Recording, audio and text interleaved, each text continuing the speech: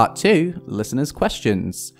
First of all, thank you very much for Philip and David uh, coming in today and giving such a great description of both of your points of view. We have a bunch of questions from people on Twitter, but before we get onto that, I just wanted to raise one question about something that was raised in the discussion, which was why do we think that uh, dualism seems to be the most intuitive response to this issue? Why is it that it appears to be the average way of thinking? Okay, so as I said a few times earlier, uh, there seems to be a strong intuition in favor of dualism, despite all the arguments, which, I mean, Philip agrees about this, uh, are against dualism. You end up with epiphenomenalism. Uh, there's strong arguments for avoiding dualism, but people, including us, I think, can't help but think in dualist terms often. So, so there's a kind of psychological, sociological question what's the explanation for this resistance to monism in our kind of unreflective thinking? There's quite a lot of literature on this, uh, and I'll just mention a few of the suggestions that have been uh, put forward very quickly. So, one thought is that it's part of our historical culture. We, we uh, many of us live in societies that have religious history, and religion certainly separates the mind and the brain, and uh, maybe that lives on in most people's thinking. Another answer is the Yale psychologist wrote a book called Descartes' Baby. He thinks we're all natural born dualists. He thinks the way the brain divides the world very early on, I mean, with, with very young children, into the the the minded, the, the sentient parts of the world, the inanimate parts of the world, uh, very deep in our thinking, and we can't really countenance something being in both categories, like the mind brain. Uh, how many? That's two two ones. I've got an idea. I've dubbed it the antipathetic fallacy, which is that the way we think about pains are C fibers, and on the first, when we think pains, we imagine the pain. Uh, when we think C fibers, we don't imagine the pain. Then we think the C fibers leave out the pain, and that's a kind of confusion that's quite seductive, I think.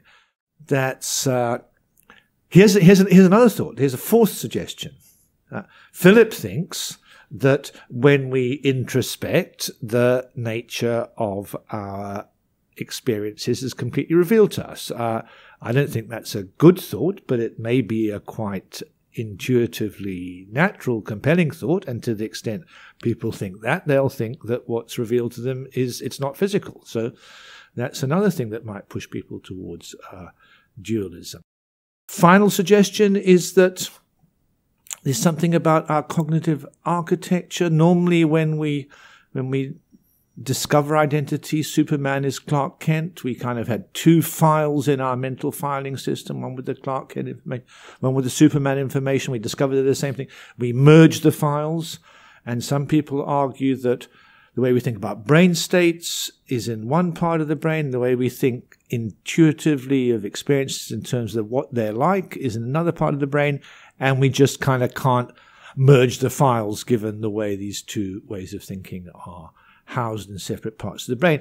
And there's some literature arguing between these different explanations. And uh, I used to engage in this, and I now think, why are we fighting? These aren't competing explanations, these are different suggestions that pressures that push us towards dualism. Maybe let a thousand schools of thought agree, uh, and uh, uh, five schools of thought. Maybe these are all pressures that push people towards dualism, and that's why dualism is so prevalent. First question from Twitter comes from Consciousness Plus, or Adrian Nelson, the author of Origin of Consciousness. He poses the question What are the ethical implications of panpsychism? Yeah, I think that's a really interesting question, and um, not something I've thought a great deal about. I mean, to my mind, actually, I think the only it, the only ethical, the only it has had a kind of ethical impact on my life but only in one regard and might be thought of as quite a surprising one. I think it stops me being vegetarian. I think I think if I wasn't a panpsychist, I'd probably be a vegetarian. I think I mean I saw recently a documentary, a really good mock documentary. Have you seen this? What's it called by the comedian Simon Amstell? Yeah. what's it called? About it's this, this mock. Have you seen this, David? No, it's sort of um, set in the, fu- the future where we've where everyone's given up. Everyone's become vegan. They've all realised what a horrible thing it is to abuse animals, and uh, and they're looking back into the past about how that happened, and this kind of um, help self help groups about people who can't bear the guilt that they used to eat cheese and stuff. And anyway, it's very very good. But at one point he says, at this time humans realized that it was wrong to eat something with an inner life. And um, but the problem for me is I I am very very confident that plants have an inner life, are conscious. And so you, you've got to eat something. It's hard to know where to draw the line. So quite seriously, I think if I just thought animals were conscious and plants weren't, then I'd probably that seems like a good dividing line. I'd probably be vegetarian or vegan. But because there isn't that dividing line, it's hard to know. So I mean, I, I worry about animal suffering and take that into consideration. But I, I I suppose I can't draw a line between what I think it's ethically permissible to kill and not. Um, but yeah, maybe that's a slightly disappointing answer. I think I know my fellow panpsychist uh, Hedda Hassel Mørch thinks that there's some really important positive um, ethical implications of panpsychism. It will help us sort of relate to the world in better terms, but I, I, I don't quite see that myself. I mean, if physicalism were to work, then we'd be sort of continuous with nature and all being physical. I don't think physicalism does work. Uh, Panpsychist does this. Panpsychism has the same implication that we're all sort of continuous with nature, and um, so yeah. So I can't. Yeah, I, I, that's the only one I, that, that I've got to is yet. But I'm really. It's an interesting question, and I'd like to hear more about it and think more about it. Can I just quickly add one thing before uh, David speaks, which is, would not most people just say you'd have to prioritize the consciousness that can experience pain? And that, because I think the the biggest issue Yeah. would be on an environmental basis. You might say, right, the the trees and everything need protection, but even that would be contingent on the fact that if they're not protected, then other types of consciousness that can experience pain would be worse off.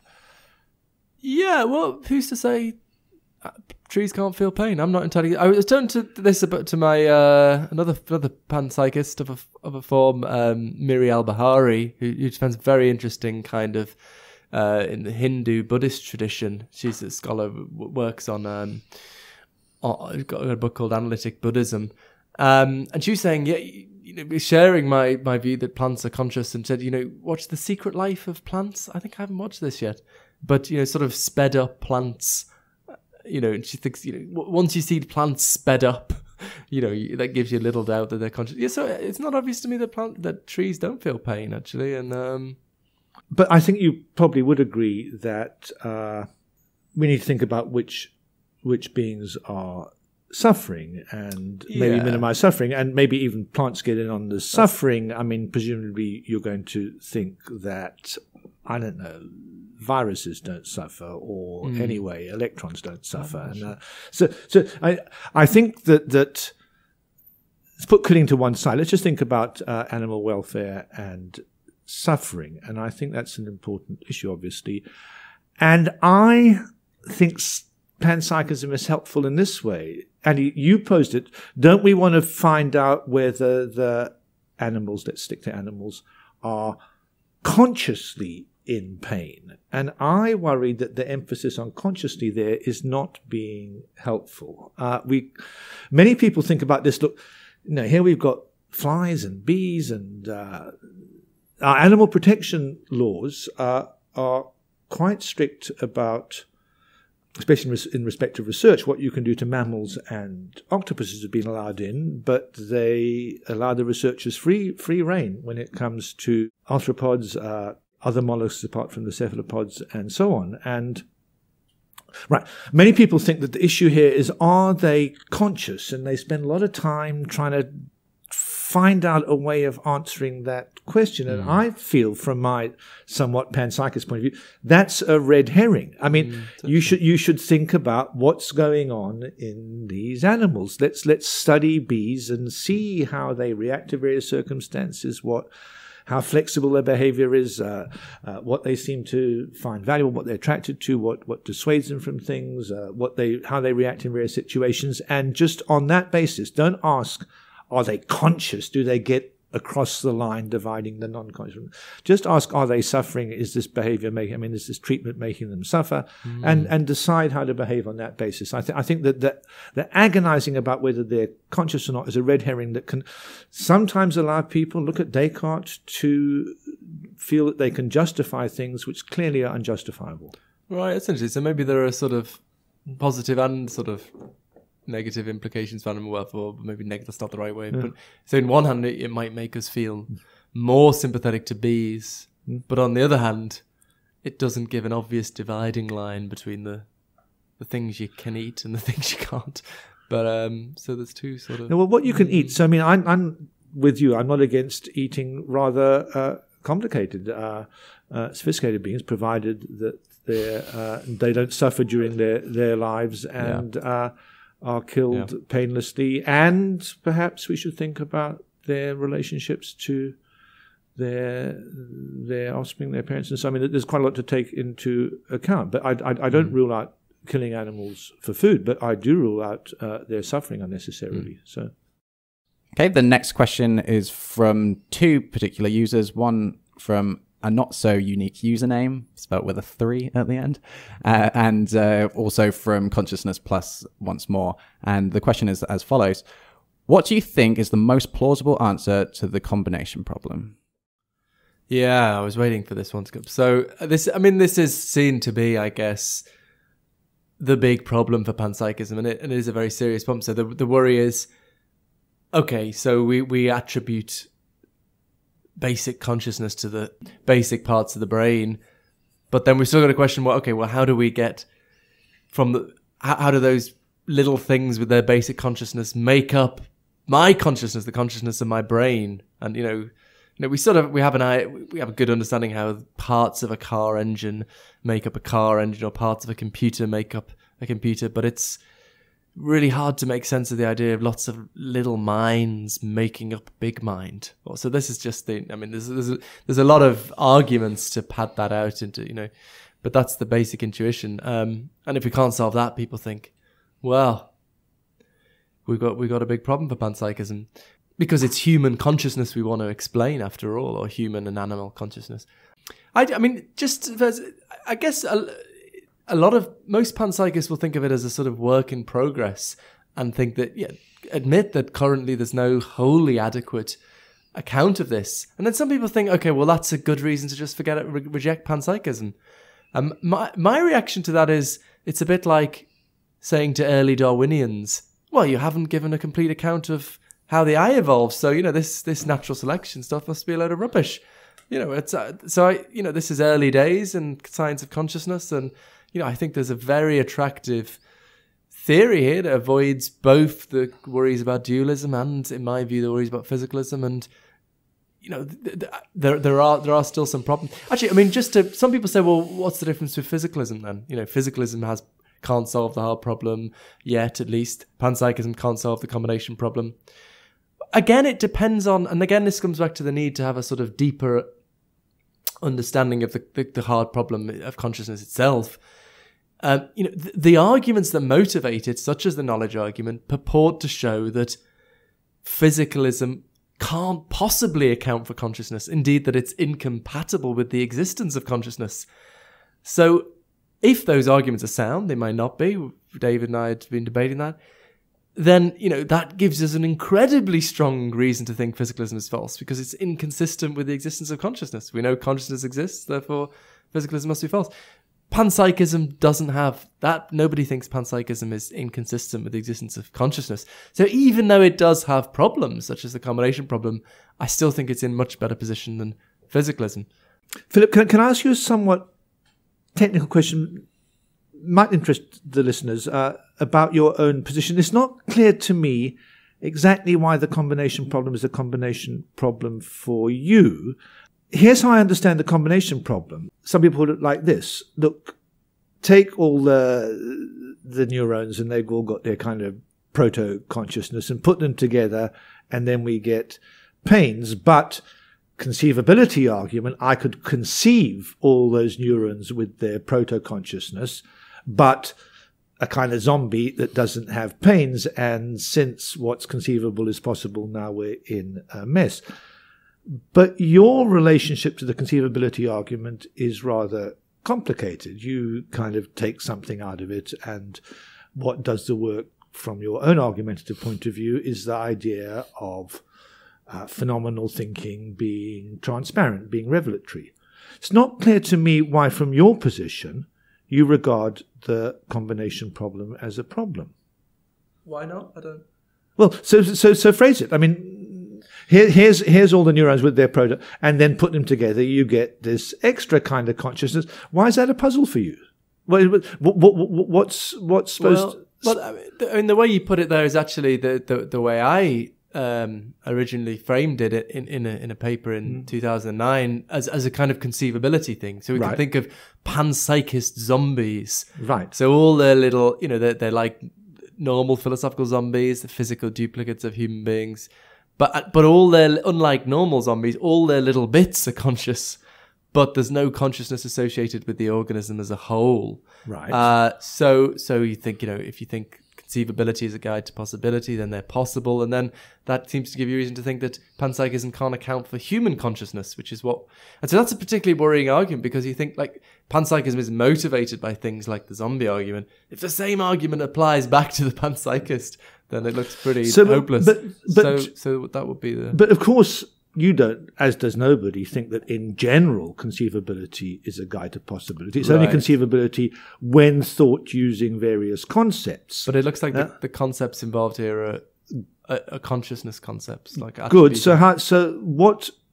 So you've got on the one hand the concepts of all the neurons with their proto uh, phenomenality, and then you have on the other the the pain that arrives when you put them together, mm. and we're thinking both of those, thinking of both of those in terms of a revelatory phenomenal concept, but it's supposed to reveal what that when you put these together, you'll get the big pain, or, well, if, or I mean, the other way around. When you when you conceive of the big pain, you ought to see its parts. That's the grain problem we were talking about earlier.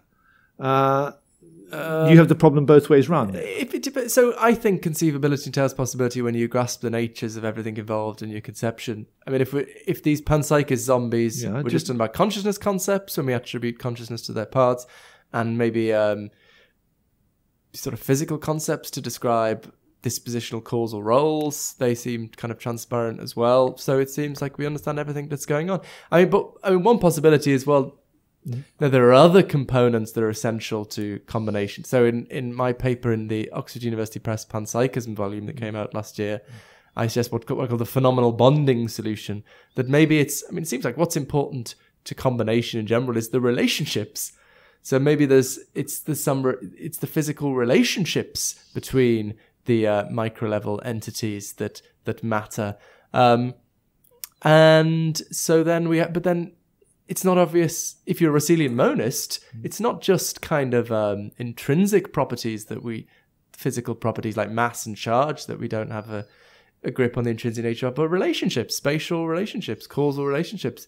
So, so that would block the conceivability argument. So there's some ah. essential component of combination, which I dub phenomenal bonding, which is a physical relationship, but we don't know its intrinsic. If we knew its intrinsic nature, then the whole thing would be transparent to us. Um, so that's that's one solution I entertain. I mean, in a way, it's not wholly satisfying because we, we there's something we don't get. We don't get the nature of phenomenal bonding.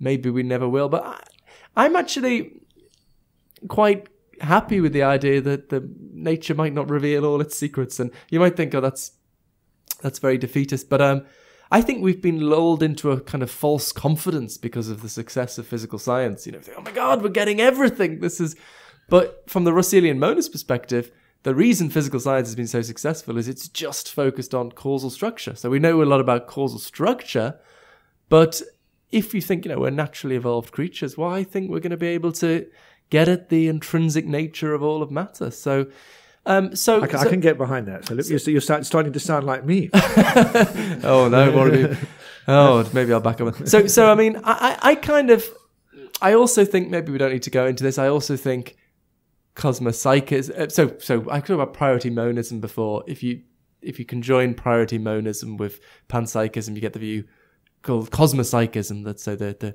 the, the everything is grounded in facts about the conscious universe. I think that helps with some aspects of the combination problem. It's a multifaceted. I mean, maybe I won't.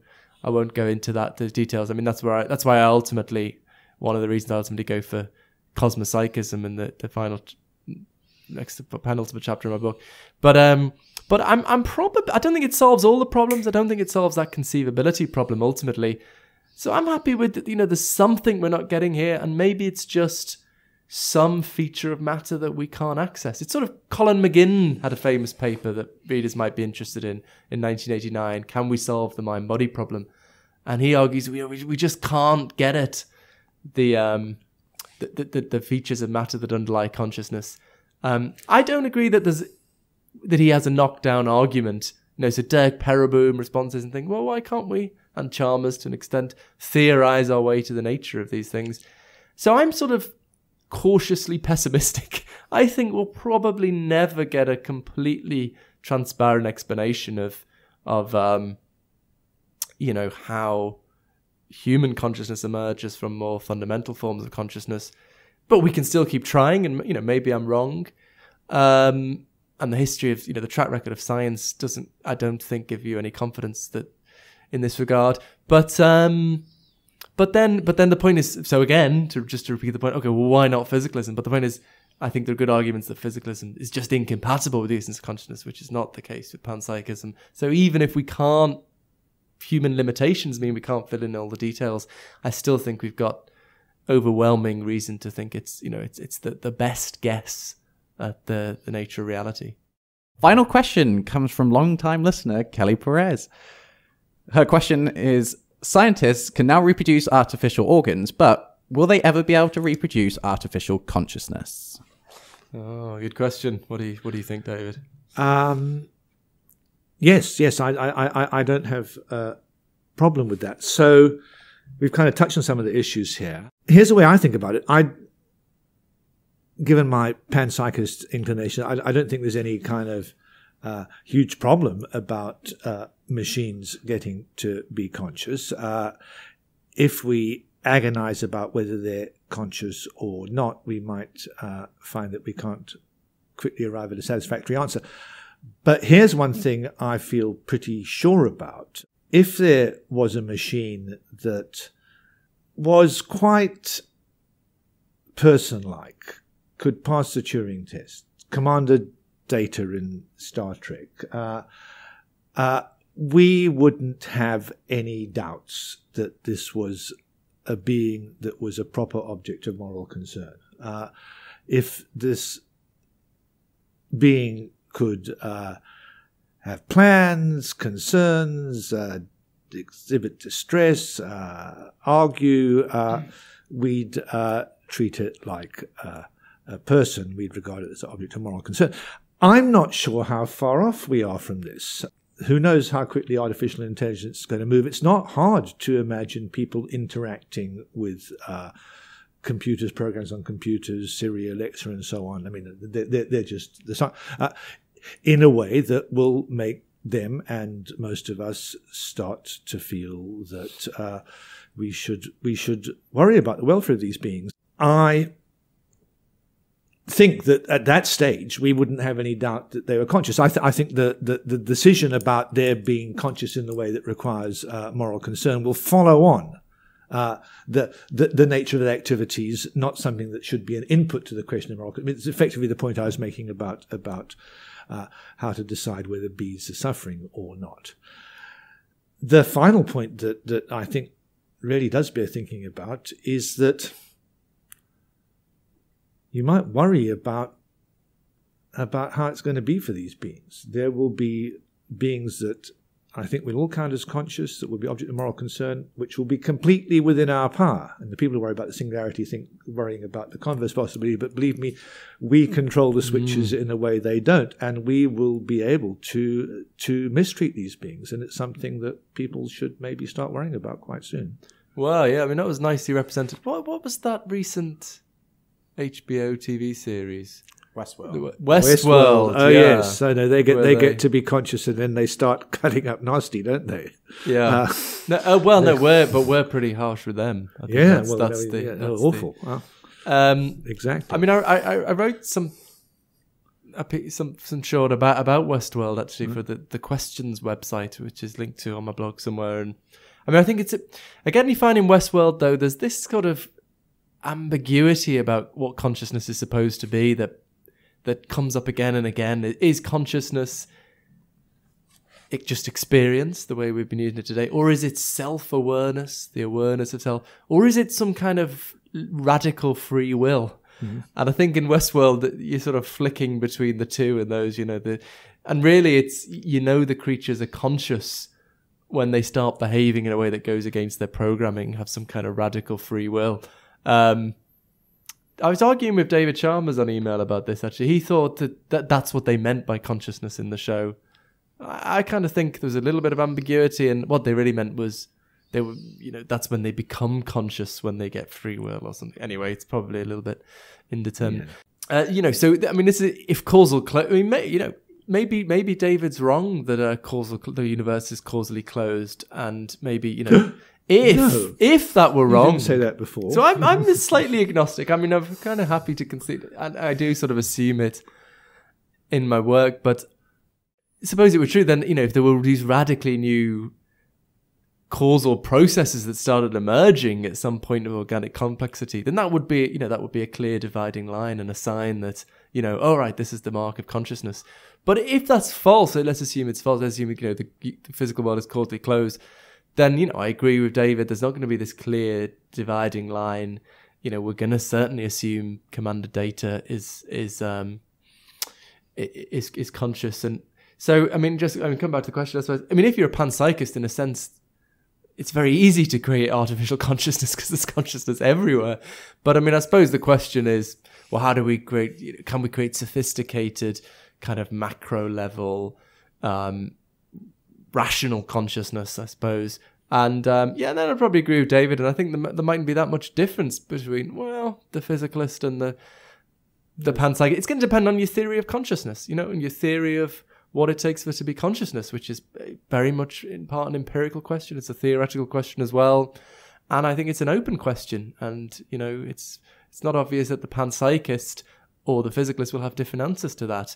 You know, the, it's the, you, it might be, you know, if we have a scientific answer to what is physically required for consciousness, and you know, the, the maybe the panpsychist, the physicalist, and the dualist will all agree on that, but just give their different metaphysical accounts of what's going on. So, yeah, so I would probably just ditto what David said, assuming causal closure is true. I, I'm, I'm not, I'm not entirely. Could I just? sure. Oh, sorry. I just wanted to raise one one final point. I'm not sure if this necessarily makes sense, but if so, if we're claiming that, depending on how far off in the future is, that we can actually say map and create a conscious mind in a computer, then doesn't that raise the whole issue of if we create a bunch of beings inside the computer? That therefore, because mm. we've created that technology, that it's as likely that we could be in that same type of technology ourselves from uh, another removed point. And if that is the case, then doesn't that kind of answer the question anyway? Because our consciousness is just a mapped version of something else that was mapped from something else. It could be like an infinite loop going through there. Because surely if we've if we've created that technology, it's more likely than not that we we are part of the same issue. yeah. I don't. I don't follow that last bit of argument. Why is it if we created technology, it's likely that Well, it's where, because why our- if our- our- so, I mean, it's very, very unlikely that there should be beings who can create such technology. Look at the history of life on Earth. It's been going on for the best part of four billion years, and uh, the kind of technology that we're talking about, it's been around for I don't know, 10 years, 50 years, 100 years at most. I mean, uh, beings that can develop that kind of technology are complete uh, biological historical freaks. And uh, uh, so the chances of there being another one creating all of us uh, is minimal. And anyway, wouldn't we have noticed the glitches like in, like in The Matrix?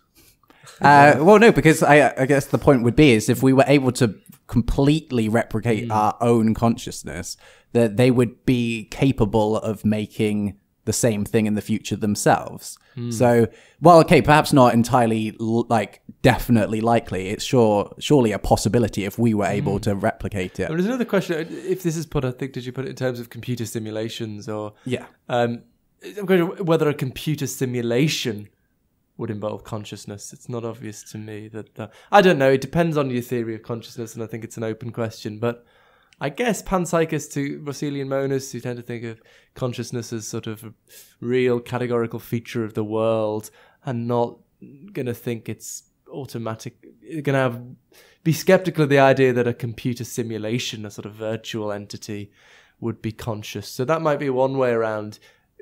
If we if if we've got good reason to think that virtual entities are not conscious, then oh, then that gives us a nice answer to an argument that we're not virtual entities, which is which I would like not to be. I think. But what would what would be the biggest difference between an artificial mind that we put into a robot body and one Right. that was in the computer? How how is uh, that fundamentally different? So I don't think it's different. I'm curious. Isn't there room for you to say that consciousness requires kind of biological wetware natures, and silicon ones won't do the business? And uh, I mean, is there room, and are you attracted? Well, I mean, I think panpsychism is is open on this, and it's it's it's as open a question as if the physicalism. So yeah, one thing is, can you have a silicon conscious thing? Um, but then if you've just got a computer simulation, well, it depends how we're thinking of computer simulation. You know, maybe the, the, the I guess you tend to maybe the hardware would be conscious, but it the software is sort of. I guess a Russellian mode is going to be inclined to think that software isn't strictly speaking conscious because it's not a sort of metaphysically real entity. You might want further clarification on what So I mean I wonder about- so- real, That's nice, uh, and and you're right that uh, that physicalists and uh, Russellian are completely neutral on whether com- Commander Data is conscious. Both of us can require or not require that you need uh, uh, carbon-based chemistry rather than silicon-based chemistry or something uh, to get consciousness. So that's open. I'm slightly interested in your idea that the hardware is going to be maybe conscious, but but the the the virtual uh, structure is is not really in the business of being conscious because it doesn't have enough oomphy nature at the bottom. because uh, that makes me think about human brains and all the neurons, and then this more abstract thing, the pain Yeah. or the visual experience. Isn't that a bit like the virtual aspect of the machine? It's a And- good point because it seems like it's Combination- natural combination to think, problem It's natural again. to think of your Russellian mode is that consciousness, human consciousness, corresponds in some way to information states in the brain. Because I mm. mean, it, it- doesn't look like human consciousness doesn't look like Yeah. the physical, the most natural way of carving up the physical stuff in the brain. It looks more like some the kind of informational properties. And informational properties seem a bit like software, a bit abstract, a bit Yeah, sort yeah. of not fully. So yes, the problem. I mean, yeah, my hope is going back to the structural mismatch problem that does. Well, the, these informational properties are real categorical features of the brain. They're just a, a really funny slice of the brain, you know, from the perspective from the third person perspective. But Have you been looking at recent stuff about proportional causation, kind of anti Kim arguments in favor of the view that high level properties uh, can be causally efficacious in the fullest sense? So the, the generic property shared by all the beings who want to, say, hail a taxi is the property that should be thought of as the, the, the cause of their waving their arm, and not the more specific neural property that differs between Right, the different right. beings. proportional causation. Proportional causation, that's Yablo, Menzies Oh, and List. yeah. Uh, yeah, yeah. causation is a high Yeah, level physical PhD phenomenon. Student Exactly. Uh, I, I I was just thinking that that's that's one resource you could appeal to to back up the idea that these these relatively generic high level properties are really uh, physically significant properties and uh, uh, right. th- th- right. thereby thereby make some pro- progress Right. with, with with the the, Yeah. the mismatch problem.